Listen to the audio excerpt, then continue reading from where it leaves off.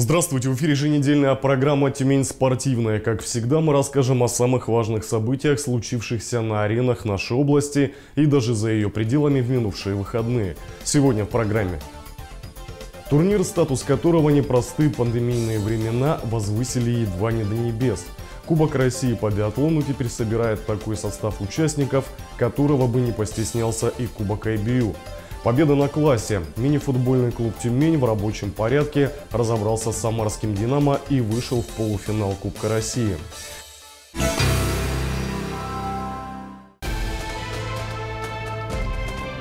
ГТО в Тюмени.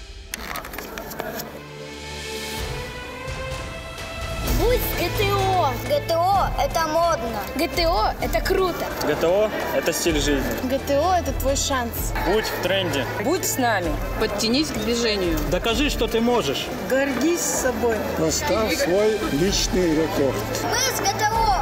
Мы в движении. А ты? Подтянись к движению. Получи свой знак отличия. В мировых женских лыжных гонках новая сила. Об этом громогласно заявила на первом этапе Кубка мира в Финляндии тюменка Татьяна Сурина. Вернувшаяся из декрета молодая мама готова встать плечом к плечу с Натальей Непряевой и повести сборную России к новым высотам. То, что Сориной по силам достойно выступить на открытии сезона в финском городе Рука, верилось охотно. Татьяна уже по ходу подготовки не раз доказывала, что готова не просто вернуться из декрета, но и выйти на качественно новый уровень. Были у нас соревнования летние, всероссийские соревнования, где она уже показала себя очень э, достойно, правильно? То есть ясно, что человек находится в хорошей форме, соскучилась по занятиям. Вот этот, можно сказать, что перерыв очень плодотворно сказался. Победив в Тюмени в сентябре на лыжероллерных стартах, Татьяна и при переходе на лыжи не растеряла скорость. На контрольных стартах перед Кубком мира стала лучшей в сборной, опередив даже лидера команды последних лет Наталью Непряеву. И мини-тур из трех гонок в руки начала достойно. В спринте ей немного не хватило для выхода в полуфинал, а в разделке классическим стилем Сорина уступила в споре за бронзу обидную одну десятую секунды. Но пусть медаль ушла, стало ясно, что Тюменко сумела набрать форму, соответствующую мировой элите. Ну, тут и целый комплекс. Во-первых, она родила это после рождения ребенка. Ну и плюс подготовка. Муж у нее тренер сборной. Она у него. Ну, в общем-то, ей уже и пора раскрыться.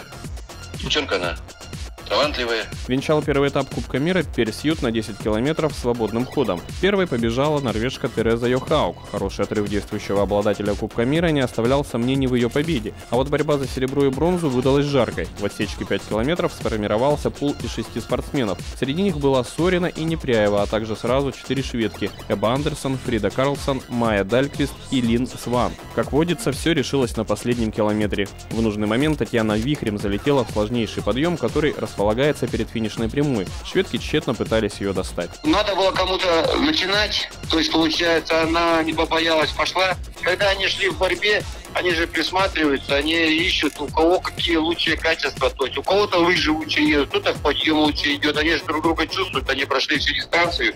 И каждый тактически устраивал свою борьбу. Мужская сборная России в руки без наград тоже не осталась. Обладатель Кубка мира, экс-тюменец Александр Большунов в разделке занял третье место. Серебро взял москвич Алексей Червоткин. Правда, в решающем персьюте он отстал. А вот Большунов стал вторым вслед за выигравшим мини-тур норвежцем Йоханнесом Клебо. Достойно выступили тюменцы. Евгений Милов сумел закончить соревнования на девятой позиции, Иван Якимушкин финишировал 13-м. Программа была больше классическая, и Иван Якимушкин 13 результат в этом плане тоже, мне кажется, вдохновляет. В спринте впервые прошел, наверное, квалификацию и участвовал в спринтерских забегах. Тоже достойно. Второй этап Кубка мира пройдет в швейцарском Давосе 12 и 13 декабря. Там к сборной присоединится еще один тюменец Денис Спецов. Сборная России в посленовогоднем варианте. В Тюмени завершился первый этап Кубка страны по биатлону среди женщин, на котором бежал целый ряд спортсменок с очевидным потенциалом и более того солидным опытом международных выступлений. По разным причинам им не довелось начать сезон на Кубке мира, но своими результатами в «Жемчужине Сибири» девушки дали очень четкий сигнал наставникам о том, что в 2021 в национальной команде придется потесниться. Прежде всего, речь, конечно, о Татьяне Акимовой, которая перешла в сборную Тюменской области, отогрелась в комфортных условиях и сходу расцвела. Раньше она была, по сути, сама за себя. Помогали только супруг и главный фанат, маленькая дочка. Сейчас же к услугам спортсменки и отличный сервис, и тренерский штаб всегда готовы прийти на выручку. А даже в индивидуальном виде спорта команда очень важна. По всей дистанции вели везде тренеры. Спасибо огромное им везде и по стрельбе. То есть я вообще была в курсе всего тепло. Эти слова Татьяна произнесла после большого мастарта на 12 километров с четырьмя огневыми рубежами, который венчал программу первого этапа Кубка России. Спортсменок было больше 30, поэтому на первой лёжке часть из них уехала на транзитный круг. Со второй стрельбы биатлонистки работали уже вместе, занимая установки в том порядке, в котором прибывали на рубеж. Акимова в контактной борьбе проявила себя отлично. Она уверенно держала хороший темп на дистанции, а плюсом к этому идеально работала на стрельбище. Сегодня получилось со стрельбой. Ну, я с каждой гонкой все равно потихоньку уже вспоминаешь, обретаешь какую-то уверенность, и оно приходит постепенно. Все решилось на последней стойке, куда вместе с Акимовой приехала югорчанка Екатерина Носкова, ранее выигравшая спринт. Контактная стрельба, борьба нервов. Дрогнула северянка. Самочувствие сегодня было достаточно хорошее, могла работать за Таней. Почти все круги прошли вместе. Единственное, конечно, обидно, два промаха, могла побороться за победу. Но на ошибках учатся, надеюсь, дальше будет только лучше. Я думаю, что да, я видела, что Таня закрывает. Хотелось тоже попасть и, возможно, где-то контроль потеряла за спуском именно за пальцем дергала, и с этим связаны промахи. Носкова в итоге удержалась в призерах, финишировав третьей, а второй, как и в Пасьюте, стала Наталья Гербулова из Красноярского края. С одним промахом она уступила победительнице 33,4 секунды и осталась очень довольна тем, как стартовал сезон. Как я раньше стреляла, буквально даже полгода, год назад, сейчас меня прям радует стрельба, что здесь сходятся все звезды и все получается. Помимо призеров, каждая из которых потенциально способна усилить сборную страны, отметим тюменку Викторию Сливко. Функционально после коронавируса она еще набирает форму, но стрельбу в Мастарте показала образцовую – 20 из 20. Финишировала Виктория пятой. Следующий шажок на пути к набору формы Сливко сделает на втором этапе Кубка России. Он также пройдет жемчужине Сибири с 3 по 6 декабря. Без лишней нервотрепки мини-футбольный клуб «Тюмень» пробился в полуфинал Кубка России. Хотя «Динамо Самара» традиционно неудобный для сибиряков соперник, попортивший им немало крови в различных турнирах. Но очередное двухматчевое противостояние оппонентов завершилось довольно буднично, о чем говорит и итоговая разница суммы встреч – плюс 3 в пользу тюменцев. В гостях сибиряки добились комфортной победы 4-2. Понятно, что в мини-футболе такое отставание отыгрывается, но все равно хозяева второй встречи могли чувствовать себя спокойно. Но вот как раз этого тренерам и нельзя было допустить. Такие моменты проходили, и что в подсознании в голове все равно у них это сидит. Но молодцы футболисты отнеслись профессионально к этим вещам и просили, и настроили, и дисциплинированно сыграли на протяжении всего матча. Шансов я не видел, чтобы у соперника были сегодня. Гостей итог первого матча вынуждал идти вперед, а потому пропущенный на третьей минуте гол стал едва ли не приговором для дальнейших кубковых перспектив фалжан. Сергей Абрамович разыграл классическую стеночку с Денисом Неведровым и шансов вратарю не оставил. Естественно, первый гол а, был у нас чуть э, подбил чуть-чуть наш настрой. Конечно, нельзя было нам пропускать первыми. А, нам надо, мы надеялись на то, что хотя бы один, а, там, два мы поведем, чтобы нам было психологически легче, чтобы Тюмень а, тоже занервничала. Ну, естественно, этот гол их чуть-чуть подуспокоил. Терять динамовцам по-прежнему было нечего, поэтому они забрали инициативу, чему Тюмень не особо и противилась. И давление на ворота Лео стало очень серьезным, что на 14-й минуте привело к логичному итогу. Секундная расслабленность и позабытый всеми Решат Котлеров подарил бело-голубым призрачную надежду. Правда, ненадолго. Во второй раз вперед Тюмень вывел Камиль Гориханов. После изысканной передачи Абрамовича он со второй попытки пробил Василия Белова. У нас сегодня не получилась игра такая вот с огоньком, как это было в первой игре. У нас сегодня не было движения, не было было какого-то вот настроя, супер настроя, да, за счет чего можно было бы там переломить ход этого противостояния. И я думаю, что все по делу. Поздравляю Тюмень с выходом в полуфинал. Э, такие матчи играют на другом уровне. Но это, наверное, вопрос ко мне. Я всю вину за сегодняшнее поражение беру на себя. И, видимо, не смог найти слова для того, чтобы зажечь эту искру в каждом из наших футболистов. Безуспешные попытки взломать оборону Тюмени заставили динамовцев уже на 10-й минуте второго тайма перейти к игре в формате 5 на 4. Той самой, что так нервозно порицал тренер Волжан после первой кубковой встречи. Также будем играть и, видимо, опять будем обороняться большую часть времени против подключения вратаря Тюмени. Вот. Но ничего, это тоже играет, тоже компонент игры, пока он разрешен. Тюмень может использовать это. Тюмени воспользоваться благодушным разрешением Максима Горбунова на применение компонента игры, который, видимо, должен быть запрещен, не пришлось. Было видно, что хозяева не только в пятером, но и в меньшинстве четко знают, что и как делать, куда бежать и какие направления перекрывать. Мы к этому готовились, мы думали даже, что в первом тайме они могут поменять в пятером и так было, что они во втором тайме за 15 минут поменялись. В пятером мы разбирали эту игру и шансов вообще никаких не дали. Были моменты, что они били, но у нас слева на последнем рубеже стоял очень хорошо. А впервые проговорили также дисциплинированно играть, не расслабляться. Это самое главное, основное было. В концовке, когда судьба путевки в полуфинал была уже по сути решена, соперники обменялись голами. У тюменцев свой шанс на дальней штанге подкараулил Сергей Крыкун. Точку же в матче поставил Котлеров. Доселе безупречный Лео с его шикарным дальним ударом не справился, но вряд ли тем самым подпортил себе настроение. Победа Тюмени по итогам двух поединков 7-4. Ребята старались просто играть качественно. В первую очередь мы договорились сыграть в обороне очень дисциплинированно. Но пропустили гол такой, можно сказать, тоже неожиданный. И дальнейший все равно где-то больше стали играть с подстраховкой и немного дали инициативу. Выжимали из центра. У нас, конечно же, если заметили кадровые потери, и Иван Милованов пропускал, и Андрей Батрев только вот выходит, Серега Логинов. Поэтому был как бы установка такая, чтобы немножко натиск команды Самары сбавить и аккуратно, постепенно играть и показывать свою игру. Далее в программе подарок вратарю сделать не удалось. Тюменский легион дважды уступил на своем льду. Причем второй раз в день рождения целой половины команды – голкипера. Последний крупный старт сезона в Челябинске завершился всероссийский турнир по дзюдо и завершился успешно для тюменской сборной. Если есть хоккей на траве, почему не может быть волейбола на снегу? Относительно новая забава находит своих поклонников и в Тюмени. Когда совсем не жаль, что такой день рождения только раз в году. Поздравить голкипера Тюменского легиона Алексея Щетилина с 21-летием приехал теневой лидер конференции «Восток» Нижегородская «Чайка». Правда, явились волжане без подарка, а по итогам двух встреч покинули наш областной центр без турнирных потерь.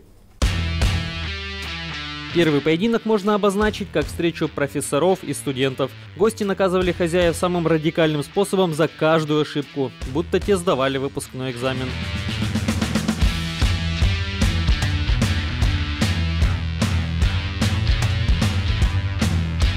Мы вроде старались всю игру давить, очень много возили, надо было где-то попроще сыграть. Так сказать, академию устраивали, надо было это убирать. Безусловно, моменты были, они очень хорошо играют в контратаку, нас это предупреждали, и мы разбирали игры. Со всеми соперниками противник кусается, так сказать. То есть, ну, борьба, они создают борьбу. Надо было постараться, мы вот выиграли, слава богу. Неприятности начались с просчета Владимира Крикунова на чужой синей линии во втором периоде. То ли бросок, то ли пас был перехвачен Иваном Мурашовым и преобразован в сольный проход к воротам. Бросок и счет открыт. Далее уже Щитили не разобрался в ситуацию своих владений, а Дмитрий Галиакберов решил еще больше усложнить своему голкиперу жизнь. Как результат, Андрей Галушкин закрепил преимущество пернатых. Возможно, тюменцы смогли бы претендовать на камбэк в заключительном отрезке, но пришло время ошибаться судьям. Главные арбитры встречи непостижимым образом просмотрели вот этот удар удар клюшкой в лицо Артему Руденко, после чего Денис Почевалов ассистировал Максиму Федотову. Опустошенные легионеры продолжили дарить подарки нижегородцам. Тимофей Климов оставил шайбу бесхозной за своими воротами, а Федотов и Почевалов поменялись ролями. 0-4. Чайка побеждает с тем же счетом, что и в первом круге. Они не отражают, все равно мы тяжело играли. Мы уже с другой командой нарывались на эти, на, на эти грабли.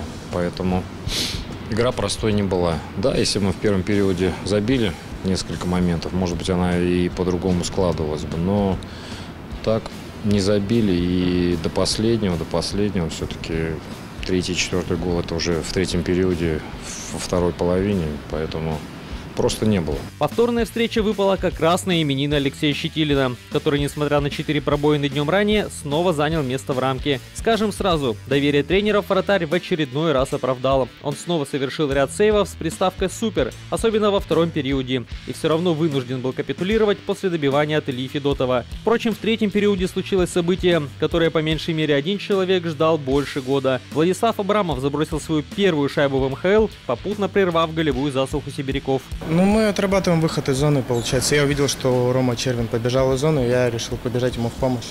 Дальше зашли в зону, Рома дал хорошую подкидку. Концовка основного времени матча могла шатнуть маятник в обе стороны, но вратари обеспечили командам минимум по одному набранному баллу. Увы, бонусное очко в овертайме досталось Чайке. Команды за 5 неполных минут умудрились заработать 12 удалений, по 6 с каждой стороны. И когда буллетеры обдумывали в голове, как будут хитрить на штрафных бросках, шанса на это их лишил нижегородец Роман Синицын 2-1. Тяжелый успех лидера конференции по потерянным очкам. Были хорошие моменты положительные, но также есть отрицательные что показала наша вчерашняя игра. Четыре гола этих пропущенных, там ошибки были в индивидуальном плане, больше не технические, а именно в мышлении как-то немножко, сыграли немножко по-другому, совсем другая игра была. Ну и, в принципе, забитый один гол за две игры, это мало. Реализация у нас страдает, надо работать. Так, сегодня бились до конца в овертайме. В овертайме были моменты стычки, где постояли за вратаря, защитили на нас именинник в принципе, то, что бойцовские качества, это хорошо. Впереди подопечных Рустама Камалова ждет еще одно испытание. Сегодня и в среду тюменцы скрестят клюшки с лидером Востока уже не по потерянным, а по набранным очкам казанским Ирбисом.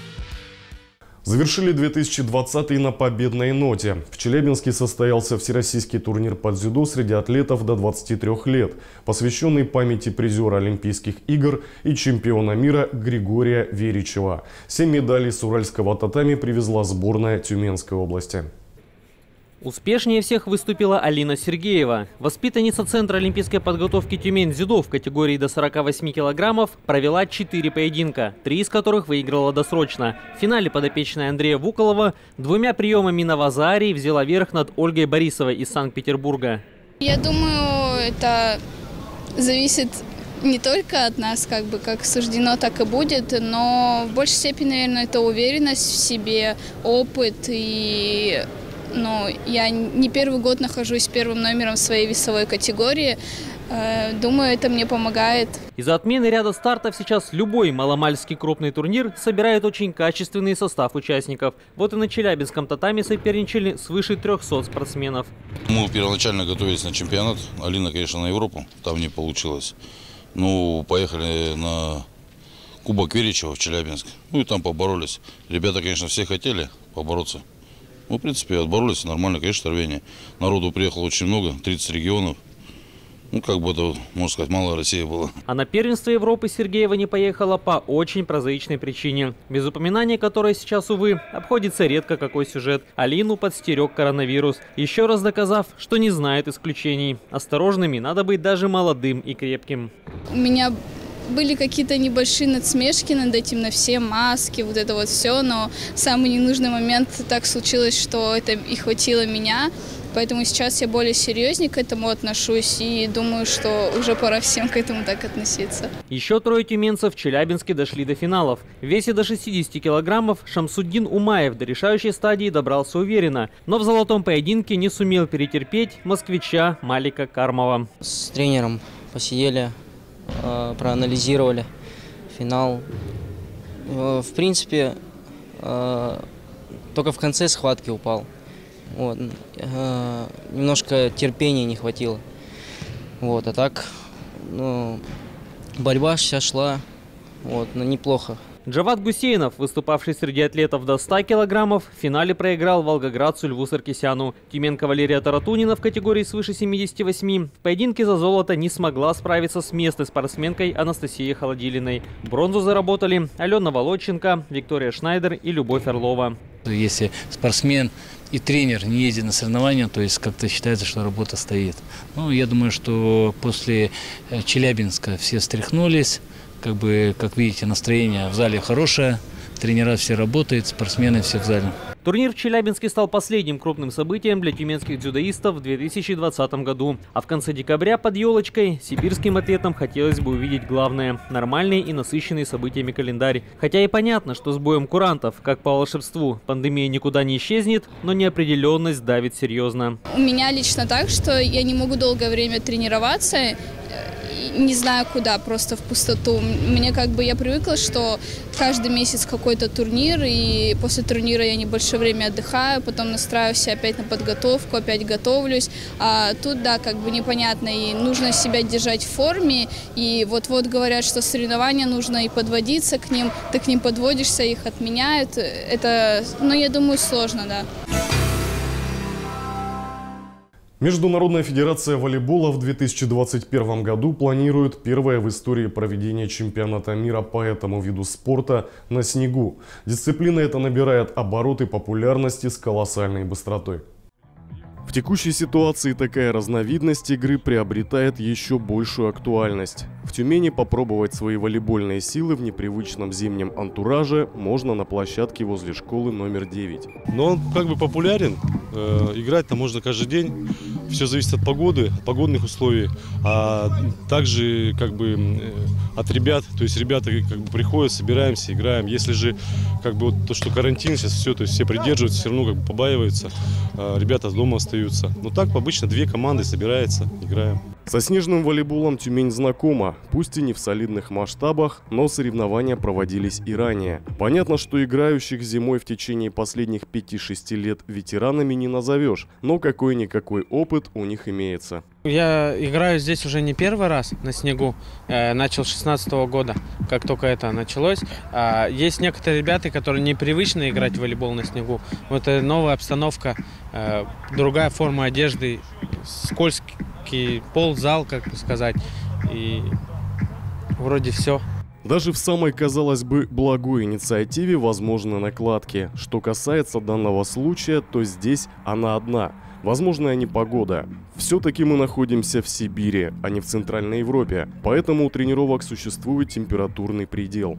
Безветренной погоды, то есть нормально, все при хорошем освещении до минус 15 бывает, что холоднее, люди все равно приходят и ну, приходят с помощью нет, нет, если холоднее, мы тренировку заранее, все это обсуждение идет, мы отменяем и пере, либо переносим время. Но если минус, то есть 16 и погода холодная, ветреная, то мы уже не играем, потому что это опасно, обморожение может быть, все такое. Любой вид спорта непредсказуем, а уж волейбол на снегу в этом компоненте может дать фору многим другим дисциплинам. Профессионалы, к примеру, используют специальную экипировку, которая снижает фактор случайности. Любители же находятся в других условиях. Да, здесь больше влияет удача, чем, например, в зале, потому что здесь услов... погодные условия влияют очень много. И то, что тут снег есть. Некоторые подскальзываются, тянутся за мячом при приеме. Всякое бывает. Есть уже понимание, сейчас заблаговременно намного выходим на мяч на приеме, и расстановка чуть-чуть другая, чем в зале. Официальные матчи проводятся в формате 3 на 3. У любителей, естественно, таких жестких требований нет. Здесь главное с пользой провести время. Выстаивать в очереди в ожидании своей встречи порой тоже приходится, но не столько, как если бы на площадку пускали в два раза меньше игроков. Костяк основной есть, да. Человек 20 костяк есть, но постоянно добавляются то есть новые ребята, которые подтягивают эти же, кто с общего костяка, они подтягивают, при, призывают, как бы поддерживать здоровый образ жизни. Приходят сюда и взрослые, скажем так, и, и дети, и студенты, и дедушки бывают, нет, не заходят. То есть как бы кто умеет играть, они все как бы играют. Очередной тюменский любительский турнир собрал в основном молодежь. Выделялся в этой компании Игорь Мелехов, очень зрелой игрой. Ему 55. Ощущаю себя вполне комфортно, это, эти соревнования придают сил, энергии, позволяют поддерживать себя в хорошей физической форме, бороться с болезнями, в конце концов. Надо дать должное организации на высоком уровне. Значит, э, здесь присутствует и музыка, присутствуют вот, вот эти вот э, транспаранты, так сказать, с призывами занять, заниматься вот физической, физической культурой и спортом. Это, конечно же, все добавляет хорошо. Информацию о снежных тренировках у сетки можно получить в социальной сети ВКонтакте в группе «Тюменская волейбольная любительская лига «Дружба». ГТО в Тюмени.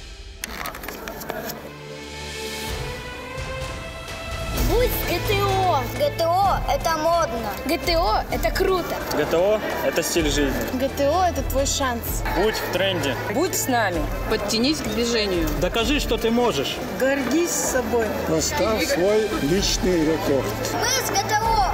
Мы в движении. А ты?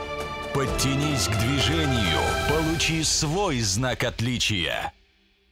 На сегодня у меня все. Эту, а также много другой важной и свежей информации о спортивной жизни региона вы сможете найти на нашем сайте asnta.ru. До свидания.